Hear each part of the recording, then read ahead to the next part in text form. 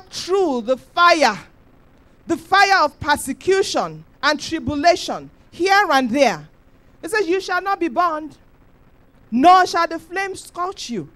Why? Because He is with us, because He is holding us with His righteous right hand. He is covering us. Have the confidence of the presence of God. Amen. Number four, be patient because delay is not denial. Be patient and persevere. Be patient and persevere. For God, for you to allow God to have his final say in our in our every situation in our lives, we need to be patient and we need to persevere. When you look at it, when um, Jesus was following Jairus to his home, he got to verse 25. When he got to verse 25 of that same Mark 5, there comes the woman with the issue of blood. Ah, Jairus was following Jesus.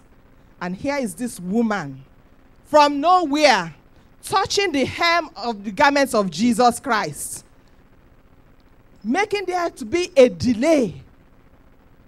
What do you think Jairus was thinking? I can think what he was thinking too. Woman, leave this man alone. Let's let just let him go with me to my daughter's to, to heal my daughter.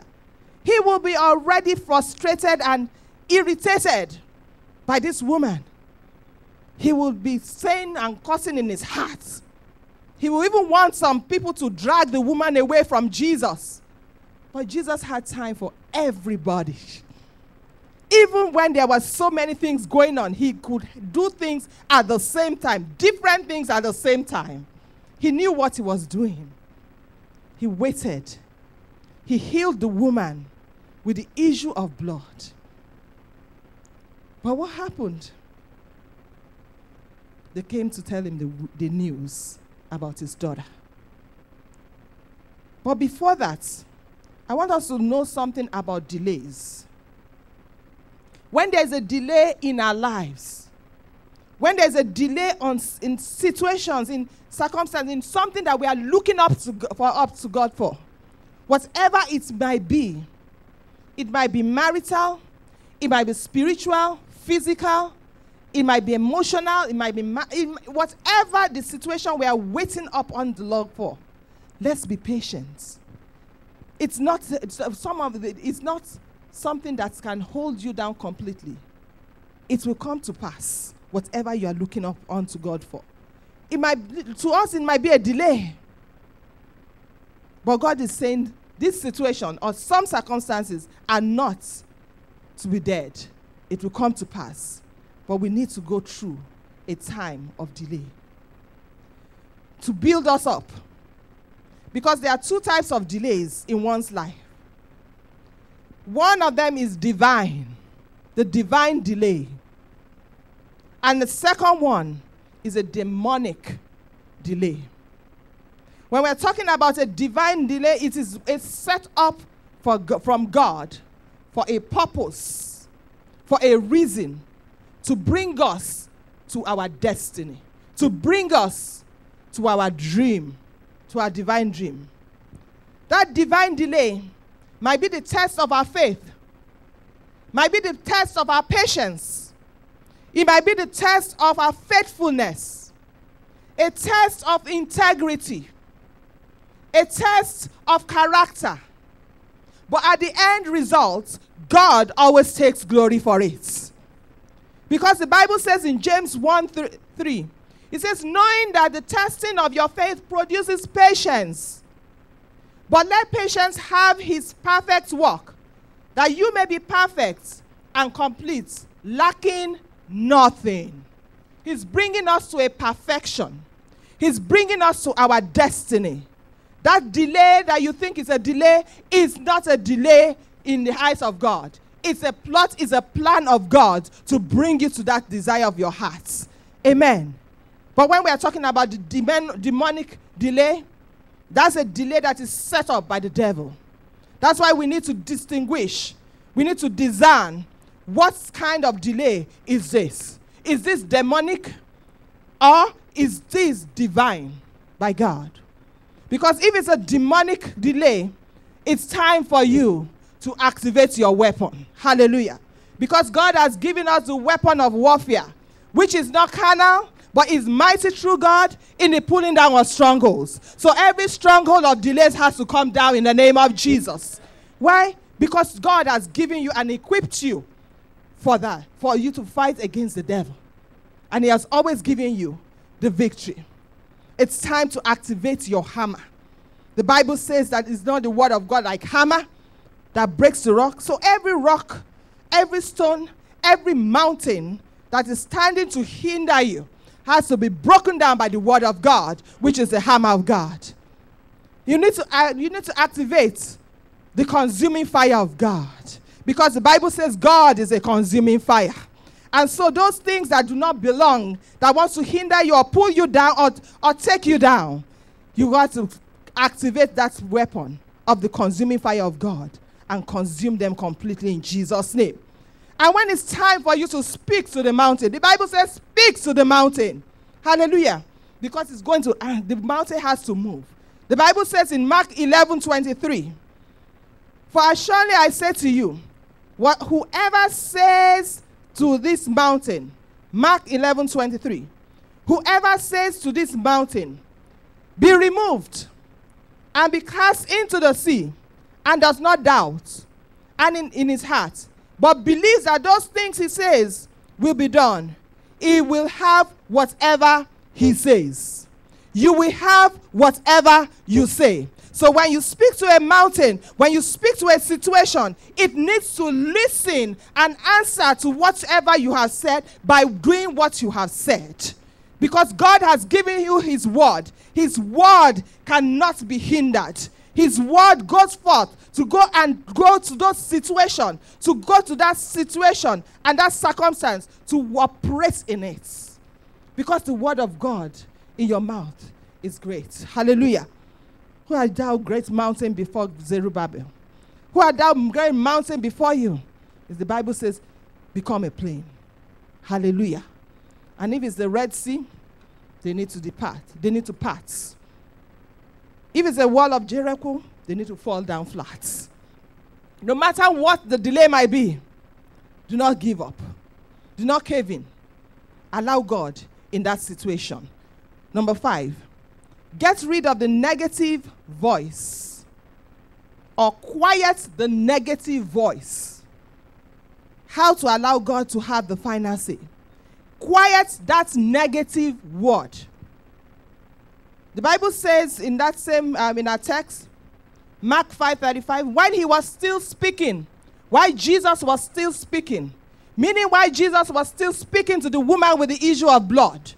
while he, he was still telling the woman with the issue of blood, daughter, your, your faith has made you well. Go in peace and be healed of your affliction. While he was yet speaking this word, what happened? Some came from the ruler of the synagogue house who said, Your daughter is dead. Why trouble the teacher any further? Devastating reports, breaking news, shocking news, faith shaking, hope destroyed, dreams shattered, hopelessness. What you came to Jesus for? What's the point? The child is dead. But who has the final say? Hmm. He's dead. You think that situation concerning your academics is dead? You think that situation about your papers in this land is dead? You think that situation about your child is dead? It's not dead. You think your finances are dead already? Or your life in general, you think is dead? It's not dead. It's momentary. It's for a moment. Hallelujah. And Jairus must have been thinking, it's over. He must be thinking, he's over. And here comes the bad news carrier. Oh, the daughter is dead. Let's see what's going to do. He went to Jesus. Faith killers, destiny killers, dream killers, negative people, naysayers. Oh, it's done, it's finished. That's the end. Hmm. They don't know the God we are serving. Because no one can say it's finished with you until God says it's finished. Hallelujah. The power of the tongue. Don't allow, don't accept any negative word from nobody. Do not accept what is negative. What the word of God has not said about you, reject it. Because the Bible says death and life are in the power of the tongue. Proverbs 18:21. Death and life. Death and life. Death is something that is not in the word of God that is contrary to the word of God. That's the word of death. But word of life is the word of God. It's the word of encouragement. It's the word that will lead you, that is in line with your destiny. That's the word you want to hear. That's the word. He said, Why trouble the, the teacher further? When the Bible says in Isaiah 62, verse 7, the Bible says, And give him no rest. It says, Give God no rest. I can determine I am going to ask a request today, tomorrow, till years and years until I get it. Because the Bible says that we should pray until our joy be filled. I am praying in faith and not in doubt, but I'm still repeating what I just told him yesterday. Until I get it, until I get it. I see it with my spiritual eyes, but I want to see the manifestation. And so he says, ah, don't trouble that teacher. But the Bible says, give him no rest till he establishes, until he makes Jerusalem a praise in the earth. So why are you getting, why are you making Jesus, why are you making God rest? Hallelujah. Why are you giving him rest? His duty is to help us. He's here for us. He's our protector, our provider, everything in all. He is. And so go and give him rest until you have gotten what you desire from him in line with the word of God. Hallelujah. And so don't let us stop praising him. You can keep rolling on the floor. You can see, you know, screaming, shouting, praising, whatever. Just keep on. Give him no rest. Because God has the final say. But we didn't hear the Bible say Jairus said anything. But we know that things would have been going through his heart. He's a normal human being. Amen. The Bible says in Lamentations 3:27, it says, Who is he? Lamentation 3:37. Who is he who speaks and it comes to pass when the Lord has not commanded? Who are you to say what God has not commanded? Who are you to prophesy a negative thing in my life when God has not commanded you? Who are you to speak what is not in line with God in our lives when God has not commanded it? Who is He? That's what the Bible says. Whose reports will you believe? Are you going to believe the reports of the doctors or the lawyers of the bankers, of the admission uh, um, officers? Are you going to believe that negative report? Just as it, uh, the 10 uh, spies came and reported negatively to the Israelites? Whose reports will you believe? We shall believe the reports of the Lord. Because the report of the Lord says we are healed, we are restored, we are the head, we are not the tail, we are redeemed, we are his righteousness, we are favored and blessed, we are, we are, we are well. That's the reports we believe. We are prospering. Get rid of that negative word or that negative voice in our brain, in our, in our head, because we start thinking negatively. We start thinking thoughts that are not right. We have to start changing our thinking in line, to be in line with the thinking of God, with the Word of God. Because the Bible says, as a man thinks, so is he. So when we start thinking negatively, when we start hearing the negative voice, we need to quench it with the Word of God. We need to quench it right away and replace it with the Word. If there's a voice saying, Will you ever get better? Your voice, your reply should be, The Lord rebuke you in the name of Jesus. I will I am whole, I am healed by the stripes of Jesus Christ. That's what we need to say. Replace it immediately. Don't let it settle. Don't let that negative voice settle in your life. Replace it immediately with the word of God. What has the word said concerning that situation? That's what you need to speak. Hallelujah. So if you want God to have his final say, get rid and quiet those negative voices.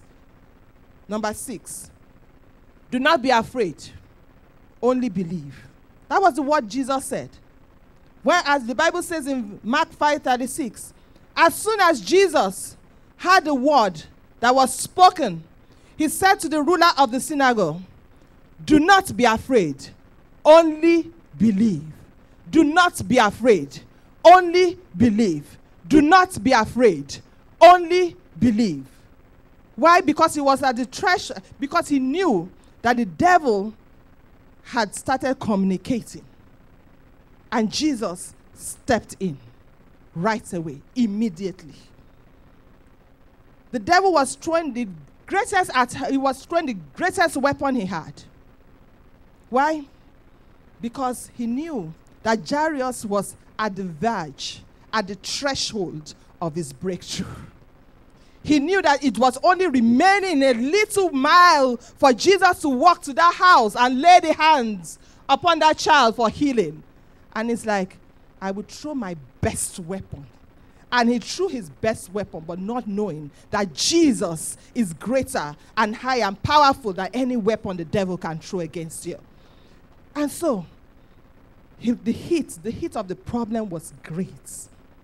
It's at that time when we are about to get to that breakthrough, get that employment, get that peace, get that joy, get that miracle, that's when the heat, the battle is so hard. That's when the battle is so great. Why? Because he does not want us to get what God has said. Second Chronicles 20 20 says, Believe in the Lord, and you shall be established. Believe his prophets, and you shall prosper. Believe. Only believe. When you believe, that's when God can step into that situation. That's when God can have his final say. Because Isaiah 41, verse 10 says, Fear not, for I am with you. The reason why we should not fear, the reason why we should believe, is because God is with us. He says, For I am with you. Be not dismayed, for I am your God. I will strengthen you. Yes, I will help you. I will uphold you with my righteous right hand. Just believe. The children of old, the people of old, God had to encourage them too. Abraham was told, Do not be afraid, Abraham. I am your shield and your exceeding great reward. He told Moses, Do not be afraid. Stand still and see the salvation of the Lord. He told Joshua, Do not be afraid, nor be dismayed, for the Lord your God is with you everywhere you go. He told even Ezekiel, ah, do not be afraid of them, nor be dismayed at their looks. He said, looks, do not even do not be afraid of it. And he said to Jehoshaphat, Do not be afraid or dismayed, because the Lord God, or because of the great multitude. And God is telling us, do not be afraid only believe, and you will see the salvation of the Lord in Jesus' name. And so they were going. And um, he had to, you know, take some people out. The Bible says in Mark 5:37, going through our text, and he permitted no one to follow him except Peter, James, and John, the brother of James. So Jesus Christ selected those who are going to go with him to Jairus' house. Check your companions. That's number seven. Check your companions. Check those who are following you, who call themselves friends. Check them out. Can two work together except they agree? Are they in unity of spirit and faith? Those were the inner caucus of Jesus. They had the same mind of Jesus. And so he picked them we need to pick and choose our friends. Pick those who will elevate you, not those who will bring you down. Pick those that will take you to Jesus and not away from Jesus. Pick those that will keep you from falling and not those who are going to make you fall. Keep those who will uplift you and not downgrade you. Pick them by the power of the Spirit of God. When Gideon was going to, the, um, to fight the Midianites, he picked himself. 32,000 people wanted to follow him to that battle. 32,000. He was confident. Oh, I have all this army. They're going to fight against the Midianites. If you get home, we can, we can read Judges chapter 7. And when he, he was going, and God said, uh uh no, tell those who don't want to go to that battle, go back home. And let those who want to go follow you. Hmm? People dropped down. We had 22,000 people following, following um, Gideon. 22,000 people. God said, Nope, these are too many people. God said, I will choose myself. Tell them to drink water at the well. Tell them to drink water at that river. I know those who are going to follow you, and I know those who are not going to follow you. And out of um, 22,000, 300 people were picked by God to follow Gideon to the, to the war. And they had the victory.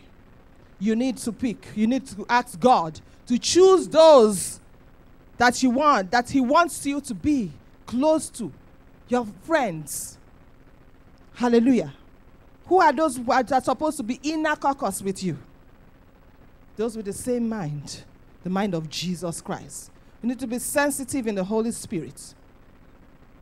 Hallelujah. And so, um,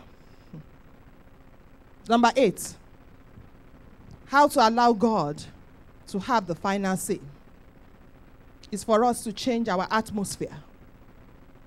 The atmosphere that Jesus went into, when he found them, they were wailing, they were crying.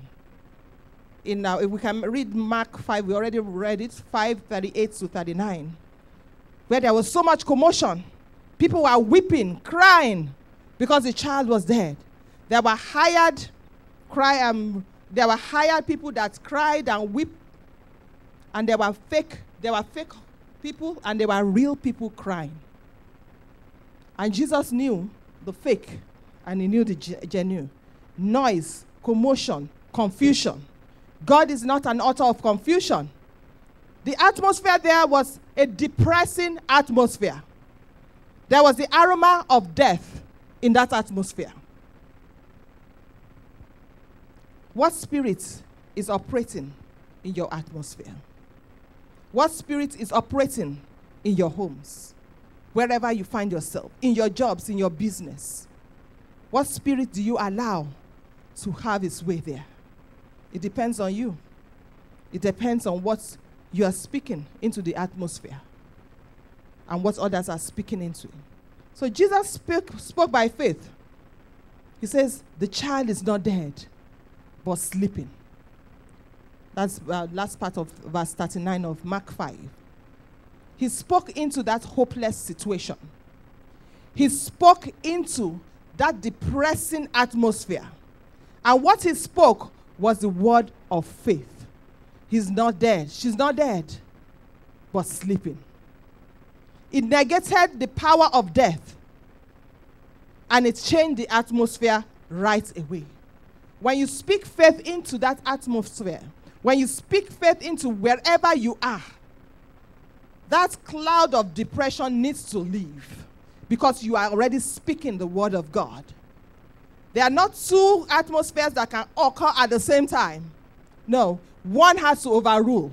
And it's the Spirit of God that always overrules the Spirit of the devil. So when you get into a, into a place, speak the word of God into that place. Release the Spirit of God into it. Hallelujah. Number eight, do not be distracted. Keep your eyes on Jesus, the author and the finisher of the faith. When you see verse 40 of that same Mark 5, they ridiculed him. They ridiculed Jesus and they ridiculed him. But when he had put them outside, He put them outside because they were ridiculing him. He took the father and the mother of the child and those who were with him and entered where the child was lying. They ridiculed him because of their unbelief. They mocked Jesus because they didn't know who Jesus was. Jesus had no time to debate with anybody. He just needed quietness and reverence. So he pushed them out. Do not be distracted by those things going around us, but look unto Jesus. Have you been ridiculed because of your faith? Have you been ridiculed because of your color, your gender, your age, your circumstances, what you are going through? Don't worry. You will have the last laugh in Jesus' name. You will not be disappointed. Those mockers, those, those who are ridiculing us, are the ones that will be put to shame in Jesus' name. Because God is turning things around. Now, going to the last part. Mark, uh, Mark 5 41. Then he took the child by the hand, said to her, Talitha kumi, which translated, Little girl, I say to you, arise. The Bible says, immediately. Immediately. No delay. Just immediately the girl arose and walked for, for she was 12 years of age. She, the girl arose and walked immediately. The mockers didn't have the final say. Those who are weeping did not have the final say. The negative confession did not have the final say. The evil reports did not have the final say. But Jesus had the final say in that situation because the girl rose up because God brought forth that girl out of that death and made her alive. I am saying that anything that has brought us down, Whatever it is, the Lord is chopping them off in the name of Jesus and is putting us by the hand and saying, Arise, girl, arise, boy, arise, brother, arise, sister, because he's going to do what he has planned to do. The Bible says, immediately that girl arose. When God speaks into that situation, that situation has to cooperate with the word of God because the word of God is stronger and powerful. And so when the word of God is being expressed in any situation, it has to respect the word. Hallelujah.